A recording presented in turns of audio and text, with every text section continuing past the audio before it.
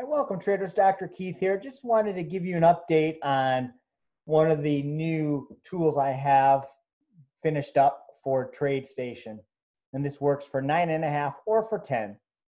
So what I have here is, this is, um, let me change the color here, apologize. All right, so what this is here is, this is my, my seasonal indicator combined with the Laguerre RSI.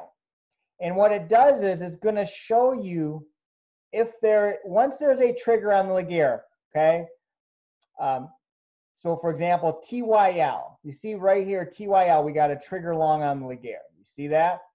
It's only going to show that trigger though if there's a seasonal advantage coming. If there's no seasonal advantage coming, then it won't show me. Okay. So as I continue to screen over a thousand stocks a day, with the Laguerre trigger, it's narrowing it down to only the ones that are triggering in the direction of a seasonal move. You may say, well, what percentage seasonal move? That's program that's editable within seconds in TradeStation. I currently had it for this example with a 3% move or greater over the next 60 days.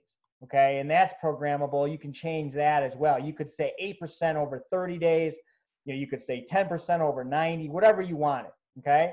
So that's why for TYL, it's a long trigger and it's showing me as a trigger because there's a 13.55% move historically uh, over the next 60 trading days on this stock.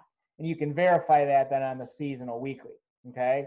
And here's the Laguerre trigger right here. And it'll stay a trigger for two days, then it goes back to neutral, okay?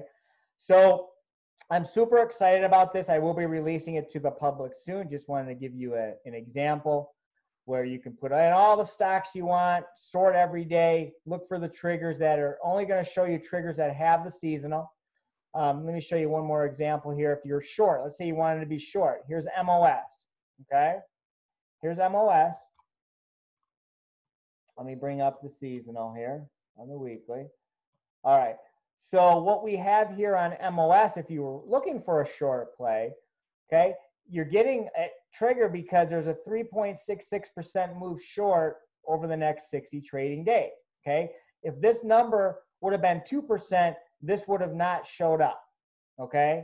And again, that's all pro programmable, meaning I program, all you have to do, let me show you. Go in here, you can format it. You can say 3%, you could say 10%, 5%, you could say 10 days, 20 trading days, 50, 100, 200, whatever you want. It's all programmable right here. Okay, that's how quickly you can change that. So super excited. It's probably the best product I've ever had because again, I no longer have to think, okay, here's a Laguerre trigger. Is it now following the seasonal pattern? It's only going to give me the triggers meeting the criteria I'm looking for with that seasonal advantage. All right, folks, take care. Bye now.